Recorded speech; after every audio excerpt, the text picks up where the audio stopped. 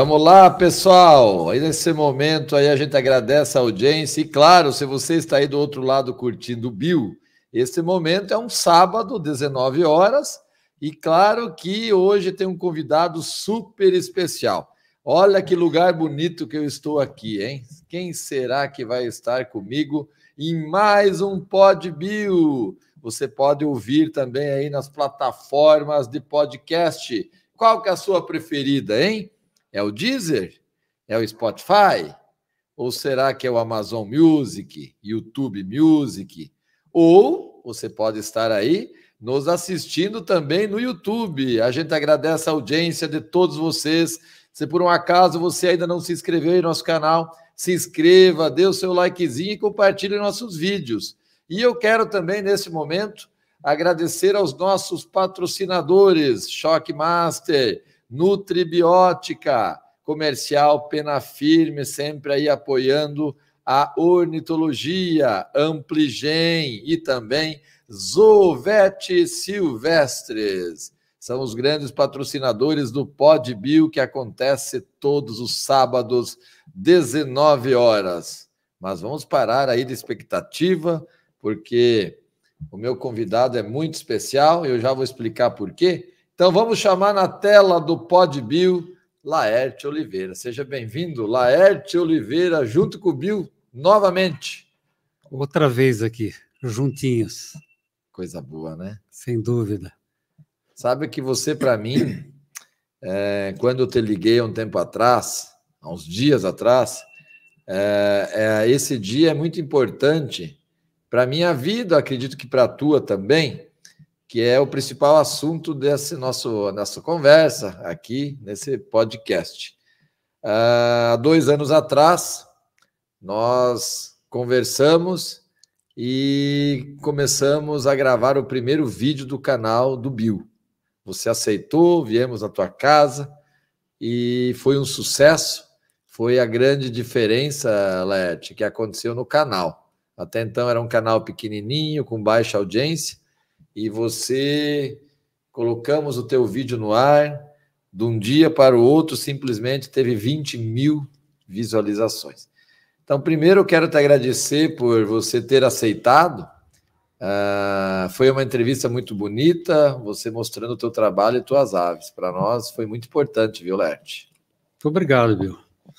Uma satisfação muito grande em receber você aqui também você ter dado essa oportunidade para a gente falar a respeito. Acho que foi é, recíproca aí a, ao sucesso do, do canal. E assim, Laerte, é, a tua vida ornitológica, porque quando a gente fez o vídeo, e tem vários no canal, vocês podem conferir aí, a gente fez visitas, a gente falou de várias espécies que o Laerte cria.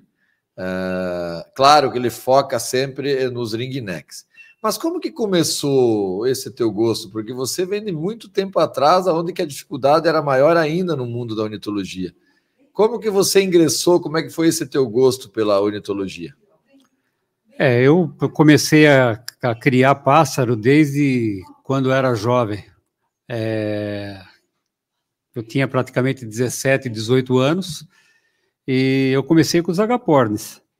É, não tinha essa ave no Brasil, é, eram pássaros que vinham importados e a gente economizava dinheiro para, quando chegasse a importação, você comprar os agapornis. Eu ainda era solteiro nessa época e é, sempre fui muito ligado na, na criação. E era mais difícil, muito mais difícil de você conseguir alguma ave, né? E isso estava muito concentrado na mão de algumas pessoas e, e você tinha que, se quisesse, é, pegar o que sobrava, né?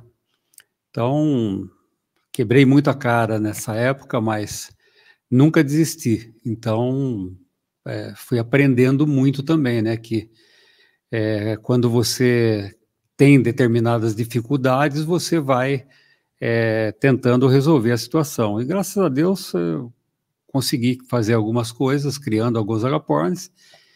E depois o ringneck eu não conhecia. É, no ringneck, eu acabei comprando um pet para o meu filho, aí eu já, já tinha uma determinada idade, né? Tinha acho que uns 30 e poucos anos. Já tinha nascido o Fábio. Fábio já tinha nascido. Fábio já tinha acho que uns 9, 10 anos de idade. E nós fomos numa feira em Campinas e tinha esse ringneck pet. Eu acabei comprando esse ringneck pet. É, fiquei muito interessado, porque você imagina um ringneck lutino, nunca tinha visto, é, um pássaro amarelo com um colar cor-de-rosa. Então, com o bico vermelho. Com o bico vermelho. Então, era tudo que eu imaginava de mais bonito na época, né? É, depois, e era raro, hein? Era muito raro. Que era, ano isso, só para nós se basear? Acho que 92. 92? 92. É, logo depois, teve uma outra feira em Campinas, é de, de, de aves, né? E eu encontrei nessa feira a pessoa que tinha vendido o ringneck para mim. Ele tinha um casal de grande Alexandre verde. E eu acabei comprando esse grande Alexandre verde, só que quando eu levei para casa dos meus pais, porque eu morava em apartamento, esse grande Alexandre praticamente destruiu tudo que eu tinha no viveiro, né? Esse é Roy. É. Você gosta de Roy. É verdade. Então, uh, eu acabei voltando na loja dessa, dessa pessoa que vendeu o Grande Alexandre, porque eu não queria ficar com o Grande Alexandre. Eu falei, olha, esse pássaro é muito violento, então eu não, não tenho onde deixar esse pássaro. Aí é, ele falou para mim que tinha um casal que eram os pais do pet que eu tinha comprado, de um ringneck lutino. Os pais do lutino? Os pais do lutino. Aí ele trocou o casal de Grande Alexandre pelo, pelo ringneck lutino, pelo casal de ringneck lutino. Foi aí que eu comecei é, tentando entender um pouquinho mais de, da criação dos ringnecks, e não foi do dia para a noite que eu comecei a criar ringneck, que apanhei bastante, mas comecei criando os ringnecks lutinos. E como é que era, Laerte, naquela época? Porque nós estamos falando ainda na década de 90, né? 90. 90, a década. 90. Nem chegando no, na década de 2000 depois, né? Mas, enfim, é, qual que era a maior dificuldade? Porque estava uh, começando recém vinham as importações né, de, de, dessas aves e muito raras ainda, né? Então eu acredito que você teve muita dificuldade para adquirir, né? Montar o teu plantel. Como é que foi isso? Uh, primeiro eu tentei é, conhecer a, a ave e saber um pouco mais da ave. Quem me ajudou muito nisso e quem me orientou bastante foi o Saulo. O Saulo foi meu primeiro contato. Perdi, é, atrapalhei muito a, o dia a dia do Saulo, fazendo muitas perguntas para ele, e ele teve muita paciência comigo, né? Mandar um abração para ele, é. porque com certeza ele está nos acompanhando. Um abração, Saulo. É isso aí. Sabe que eu te gosto muito também. Então, o Saulo teve bastante paciência comigo e, e aí eu comecei a, a, me orientar com algumas explicações do Saulo, né? e comecei a criar os, os lutinos. E era incrível porque é, quando ia os meus lutinos para uma exposição, por exemplo, os meus lutinos pegavam primeiro, segundo e terceiro lugar. Então, uh, é, foi assim que eu comecei, né? Você, você já preconizava raridades, porque na época o lutino era uma raridade, né? E, e, isso já veio na tua mente, como é que foi? porque vocês todos conhecem o Laerte, graças a Deus aí através do nosso canal, uh, uh, foi muito difundido o, o, que ele preconiza, tá, pessoal? O Laerte é um criador que preconiza a qualidade e também ele busca sempre eh, novas combinações, novas mutações e raridades. Veio desde essa época, então, como você foi estudando, como que tu decidiu partir? Porque você hoje, o objetivo principal são os ringnecks é, mais raros, né? Como é que foi? Eu sempre gostei de ringneck e, inclusive, várias pessoas me falavam que, ah, mas uh, você tem que diversificar, você tem que criar outras aves. E eu sempre me interessei e gostei muito do ringneck, por quê? Pela quantidade de opções que você tem no cruzamento com eles. E aí eu me dediquei e fui me especializando, né? Fui me especializando e fui sabendo mais sobre genética. Eu sempre gostei de genética. É, o que estudei de genética no colegial era muito básico, mas depois eu fui me aprofundando. O Saulo fazia as combinações de cores lá, né, com bezão, bezinho, azão, azinho e assim por diante, né? Então eu fui também me aprofundando nisso e, e vendo o que tinha de, de, de interessante. O meu objetivo sempre foi mutação. Eu sempre gostei de mutações. É, e fui me dedicando para isso. E ultimamente eu foquei mais no, no, no, no, de uns 15 anos para cá, eu foquei mais nos opalinos, nos clearteios, nos opalinos clearteios e nos esmeraldas, que é que é os pássaros que eu mais gosto hoje, é a minha preferência. Né? Incluindo o dominante aí também, né? É, o dominante já é uma sofisticação, né? É, nós ainda não sabemos. É, eu já vi esse pássaro várias vezes é, na Europa. Aqui adulto não se, nós não temos esse pássaro adulto ainda para ver aqui no Brasil, né? Então, eu vi esse pássaro lá fora, não sei se vai cair no gosto do pessoal aqui, porque eh, são coisas muito delicadas. Pega, por exemplo, um pássaro maravilhoso no ringneck, que é o que é o uh, Cleiteiro, Palino. Não, é o Esmeralda. Já vamos chegar lá. Ah, já vou, acabei. Não, mas tranquilo, é. Led. Isso aí é, aqui é uma, uma conversa que a pouco é, é tanta mutação, é. são tantas cores, tantas combinações. Fugiu, mas não. Mas tá aqui. Daqui é a pouco ele volta. É o Buttercup. Ah! esse é um assunto que vai dar conversa agora. Sem dúvida. Então, é uma. Se veja bem, é uma mutação que, quando chegou no Brasil, poucas pessoas se interessaram, ninguém queria Buttercup. Por quê? eu não, não consigo imaginar, mas talvez porque você só vai ver a beleza do Buttercup no terceiro ano, né?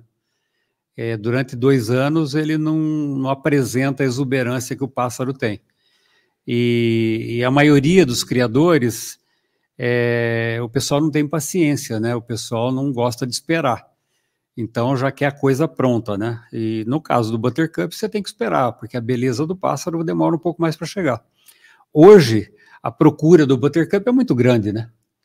E existe uma série de, de coisas que você pode fazer com ele hoje que, que é, dá mais exuberância na ave, né?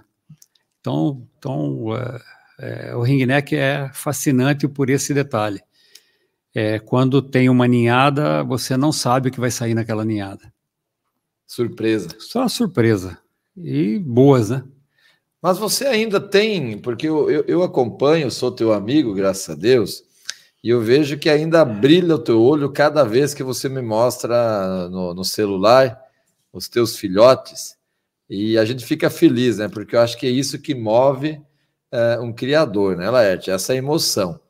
É, você brinca muito ainda? Você, é, como é que é o teu dia a dia? Você está procurando fazer novas combinações, novas mutações? Como é que funciona a mente de Laerte Oliveira? Fala para nós. Eu estou preparando mutações que vão sair daqui seis anos. Não tem mutação. Essa mutação que eu estou trabalhando nela ainda não tem aqui no Brasil. Mas é, futuramente é, eu acho que vamos ter algumas, algumas novidades, né? Então, é, eu sempre penso, eu vejo um pássaro, Fala, eu gosto desse pássaro. E eu tenho visto isso lá fora. Eu tenho tive a oportunidade de, de ir algumas vezes para a Europa e, e, ver visitar alguns criadores. Então, uh, é, não passa despercebido dos meus olhos alguma coisa que eu gosto, que eu, só que eu não sei se o pessoal aqui vai gostar, né? mas é, vou tentar aí, tô, já estou começando a trabalhar nessa mutação, e, com as importações fechadas e tudo mais, é, vai uns seis anos para fazer o que eu quero. Vocês perceberam, pessoal? Essa é a mente de Laerte Oliveira. Hein? Ele está já estudando para sair aí uma nova mutação daqui a seis anos. É, esse é o diferencial é, de um criador que se preocupa também em fazer com que a espécie continue evoluindo. Falando em evolução, me fala um pouquinho assim, porque o Buttercup, eu viajo o Brasil inteiro, você sabe disso, todos os cantos. Eu visito criadores é, pequenos, médios, grandes. É, Para nós, todos têm a, a mesma importância, que são criadores, certo? Mas assim, eu comecei a ver muito, a, a voltar a aparecer o Buttercup. Inclusive, já criadores começando a fazer combinações é, em cima do Buttercup. Na tua opinião, você acha que isso vai aumentar muito? Como é que é? A procura é grande. É, eu acredito muito nessa mutação, porque é, quando o pessoal conseguir enxergar uma mutação combinada aí com mais duas, é, e uma delas é o esmeralda, é, esse pássaro vai encher os olhos de muita gente, muita gente vai querer esses pássaros. É, eu tô com, do, tô, tô com dois casais de Buttercup, que para sair Buttercup Esmeralda, já tenho portadores, né? E, infelizmente, é, um acidente, eu quebrei quatro ovos que poderiam sair Buttercup Esmeraldas. Né? Meu é, Deus. É, então, Acontece. É, infelizmente. Maneja isso. Todos é. não estão livres de acontecer os acidentes. É. Né? Então, mas é um pássaro hoje muito procurado, é muito desejado e, e, eu já gosto desse pássaro já há algum tempo, mas não existia uma procura e não existia um interesse nessa ave é, há algum tempo atrás. É, eu acredito que de três anos para cá que despertou esse interesse para o pessoal que, que cria a ringnecks.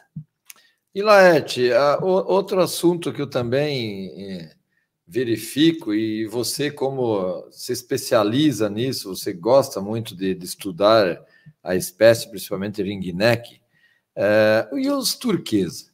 Porque assim, ó, é, eu verifico que o turquesa ele dá uma ênfase muito forte também uh, as combinações que estão na ave, certo? E você acha que é interessante eu, eu ser incrementado o turquesa em várias combinações dos ringnecks?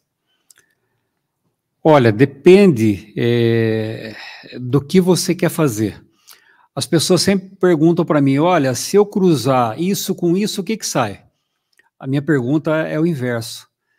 Ah, e eu sempre trabalhei dessa forma é, qual é a, a, maneira que eu costumo trabalhar e qual é a pergunta que eu faço para a pessoa. O que que você quer tirar? O que, que pássaro que você quer? Porque eu sempre olhei uma, eu via um determinado pássaro e eu ia fazer esse pássaro, né? Então, turquesa nós temos é, várias oportunidades de, de, de, fazer. Tem vários tipos de turquesa, né? É, Outro detalhe bastante importante, que isso eu vi em Portugal, é pessoas é, misturando turquesa no esmeralda, que dá mais brilho. Por isso que eu quis que você chegasse lá. É, então é, eu já estou fazendo cruzamento aqui de turquesa com esmeralda, né?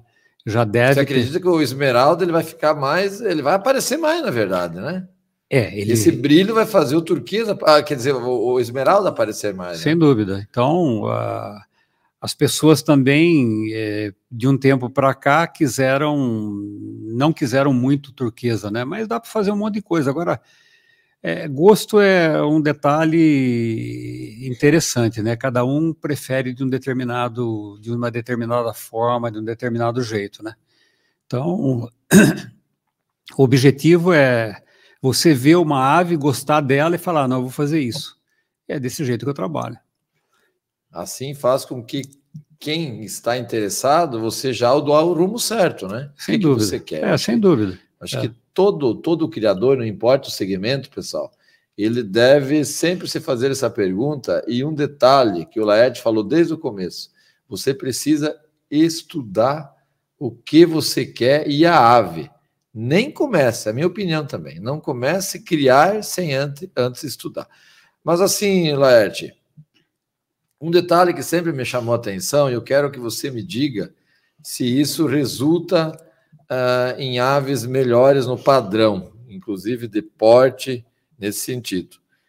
Você deixa praticamente quase que 100% as próprias aves criarem seus filhotes. É, isso é interessante? Como é que, que você vê essa situação?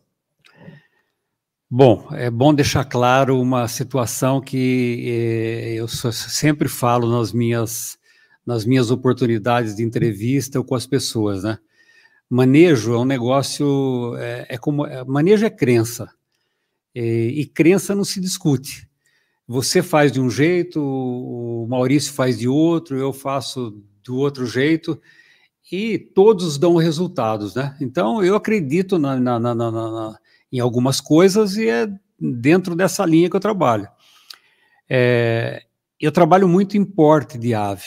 Para mim, o pássaro tem que ser um porte grande e ele tem que ser ter uma diluição adequada, né? Então, você mexe muito em cor e porte. Eu não compro pássaro se eu não ver. Eu tenho que ver o pássaro para comprar. Então, é, isso é bastante importante, na minha opinião. E é, para você desenvolver é, porte nas aves, talvez você tenha até que voltar um pouco nos duplo portadores, né? É, para ter uma ave mais é, adequada. Então, eu faço isso, né, e, e, e, trabalho também dessa forma. E os pais criando, eu acredito muito nisso. A, a saúde do pássaro, a imunidade do pássaro, para mim, ela é muito diferente do que um pássaro que não são tratados pelos pais, né? Ou pela, por amas, né? É, sempre o, o, todos os meus filhotes são tratados pelos, pelos pais. Mas mesmo assim, você sempre mantém os equipamentos, que eu acho que é importante nós falarmos para os criadores, né, Laerte? Que sempre pode acontecer algum imprevisto dentro da reprodução. Eu acho que é importante também você ter, sempre ter a reserva dos equipamentos, que é chocadeira Sem dúvida. e UTAs, né? Sem dúvida. É, é, no nível que a gente está de criação, você não pode abrir mão de ter esses equipamentos. Esses equipamentos, eles, é, num momento de, de, de, de, socorro, você usa esses equipamentos e eles são interessantíssimos. Faz falta se você não tiver. Então, você, se tiver, não tiver um equipamento desse, você pode estar tá perdendo uma ave é, que talvez você tenha tentado trabalhar nela há muito tempo, entendeu? Tanto tempo, né? É, sem dúvida. Então, é, você planeja, veja o que aconteceu com os Buttercup Esmeraldas que poderiam estar saindo aí, né? É, quebrei quatro ovos. Os pássaros roeram o fundo do ninho, o fundo da gaveta do ninho. Quando eu tirei a gaveta, os ovos caíram, né? E acontece também, às vezes, de algum pai, o pai ou a mãe não trata o filhote. Então eu tenho que trazer para a UTA, ou às vezes eu tenho que trazer um ovo que a fêmea abandonou, trazer para a chocadeira, ou pôr. Eu não gosto de passar ovo de um pássaro, de um casal para outro, para não dar mistura, para não dar confusão. É... Perder o controle. Perder o controle de mutações.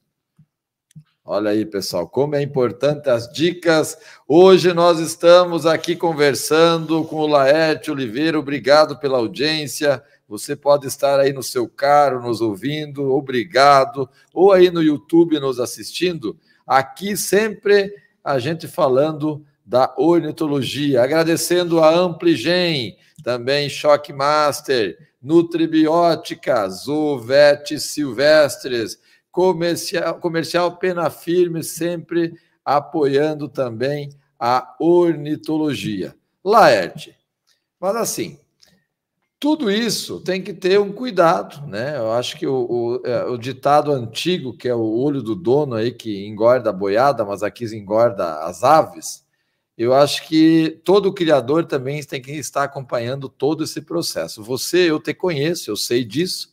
Você já de manhã cedo, o primeiro trabalho teu é alimentar as suas aves.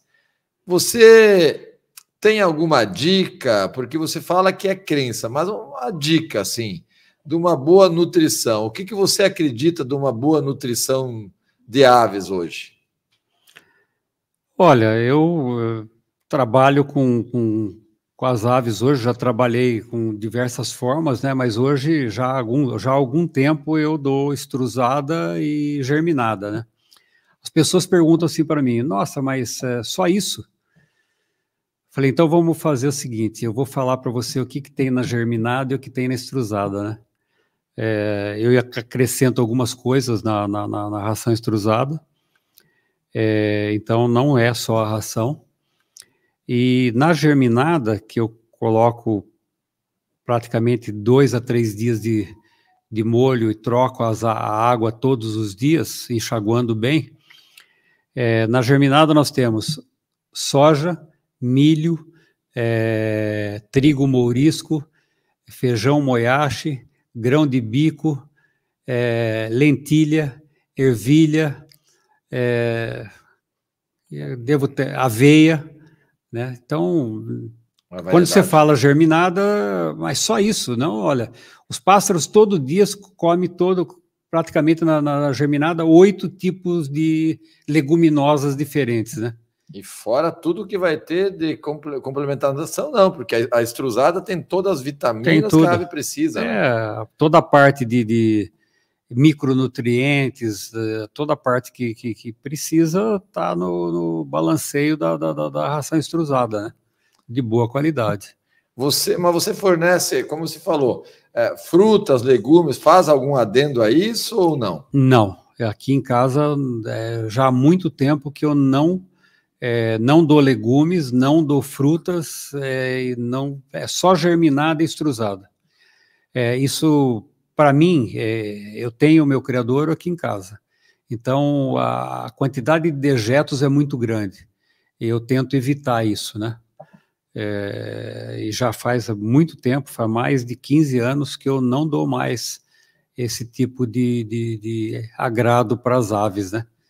E eles estão satisfeitos, estão bem, é, acham falta. É, quando prime a primeira coisa que a gente faz aqui em casa é tratar dos pássaros. Depois que tratar todos os pássaros é que nós vamos tomar café, entendeu? E olha que eu já fiquei aqui na tua casa, já posei aqui e de madrugadinha, né, cedo, o Laerte já está então lá com as aves.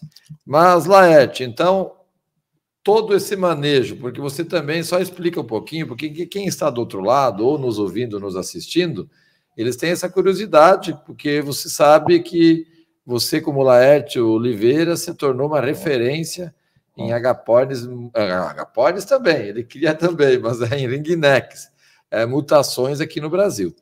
É, assim, a importância da água, porque você usa bicos automáticos, então a importância da água que eu quero que você fale um pouquinho, é, e também das gaiolas suspensas, que eu acho isso vai facilitar bastante o trabalho do criador, né? É, a, a gaiola suspensa também é uma, é uma preferência que eu tenho, não tem pessoas que preferem os viveiros de chão, né? É, por que, que eu preconizo a, a gaiola suspensa? Pela higienização. Né? Eu lavo a, embaixo das gaiolas, todos os dias. A moça que trabalha aqui conosco é, passa a, a, máquina todos os dias. Isso ajuda na umidade, é, a área fica totalmente limpa, né? Então, é muito melhor para você fazer o manejo da, da, da, da na limpeza das aves, né? Eu procuro fazer dessa forma e, e resolve, para mim, está muito bom.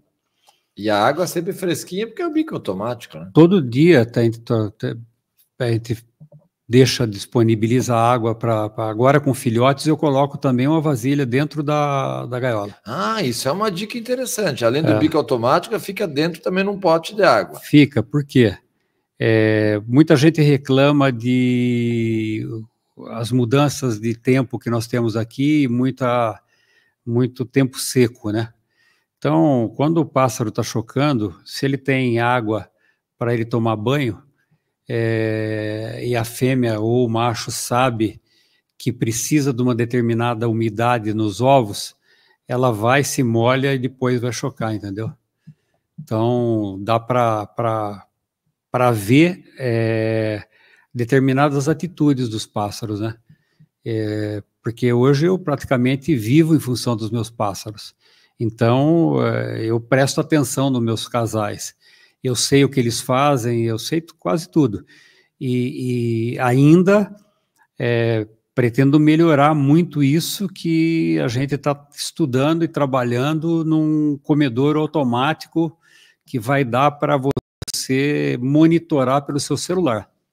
E se você é, você falou nesse comedor automático que, está em desenvolvimento, pelo que eu sei, pessoal. Se isso acontecer, você vai revolucionar o mercado, hein, Lert?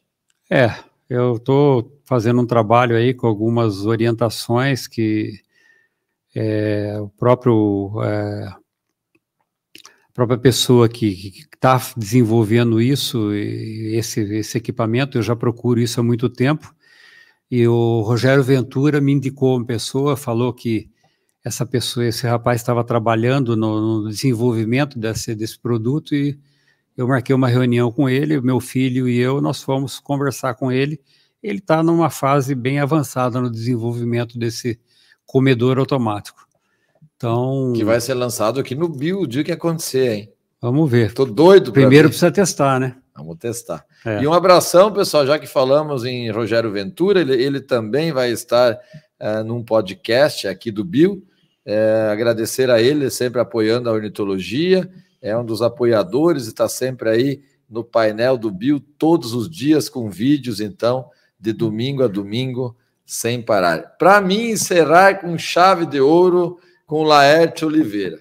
A última pergunta. Né? E você ainda pediu para o Bill aqui. Mas não tem um roteiro? Você viu que saiu o roteiro? O que, que tu achou? É, você tem, tem bastante experiência na, nessa condução, então fica mais fácil de, de trabalhar com você.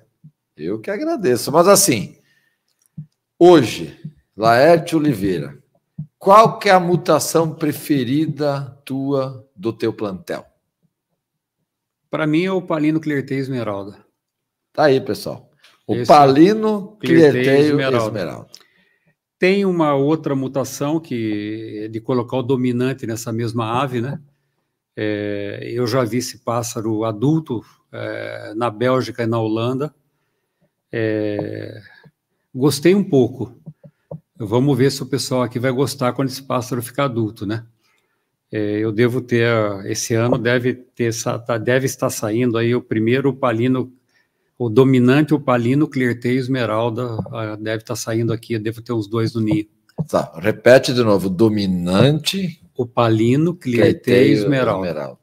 Você prometeu que vai mandar esse vídeo para mim, né? É, se for o que eu estou pensando, manda. Porque às vezes a gente se engana. É, às ah, vezes... você é difícil se enganar. Não, mas engana, porque é, é, tem um ditado assim: aquilo que a gente mais quer acaba escapando, né? Então, às vezes você está num determinado planejamento e eu fiz um trabalho forte para para ter isso já já deveria ter acontecido ano passado e não deu certo. Então, esse ano, quem sabe a gente consegue fazer. Vai dar certo. Quero agradecer também, pessoal, a dona Rosa Maria, que é a esposa do Laerte Oliveira, que nos recebeu aqui com uma bela paleta suína que só ela sabe fazer, né? E para nós é sempre uma alegria. Ela é muito querida e nos recebe muito bem. Claro, e o Laerte, que está sempre do lado dela aqui. Os dois cuidam de suas aves, isso eu acho muito bonito, é o casal envolvido. Então, para nós é, é sempre bom essa amizade que a ornitologia me trouxe. Quero agradecer, então, sempre a Ampligen, a Shockmaster, a Nutribiótica, Comercial Pena Firme e também Zoovete Silvestres, que apostaram, porque é um programa diferente, você pode é, escutar a ornitologia e também assistir a ornitologia. Laerte, muito obrigado novamente. Você está sempre disposto, cedeu a tua casa para montar o estúdio para nós gravarmos, né? Quase que o Liminha quis acabar com a tua mesa aqui, mas nós não deixamos, né? Não. Mas montamos o cheguei, cenário. Cheguei a tempo. É. É, porque... Quase que o Liminha destruiu a mesa. Não, ele não ia botar tarraxa na minha mesa aqui, hipótese nenhuma. Ai, Liminha. Obrigado, Violete. Eu que agradeço, Bill. Sempre que você quiser, estiver passando por aqui, nós estamos à disposição sempre. Isso aí, pessoal. É o mundo da ornitologia traçando esses destinos e essas amizades. Obrigado a todos vocês que nos acompanham, porque Bill Pássaros é a verdadeira vitrine dos criadores do Brasil.